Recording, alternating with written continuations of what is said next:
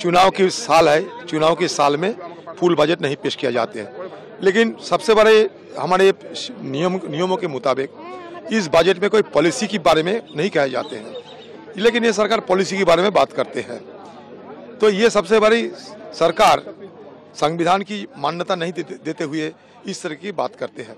अभी चुनाव के समय आम लोगों को लुभाने के लिए सरकार तरह तरह की लोगों को कुछ मतलब लुभाने की तरीका निकल रहे हैं। हमें देखना है कि कौन सा बजट है। बेरोजगारी से रोज़गार मिलने का बजट ही है क्या? ये गरीबों की रोज़ाना खर्चा करने की ताकत बढ़ाने की बजट है ये क्या?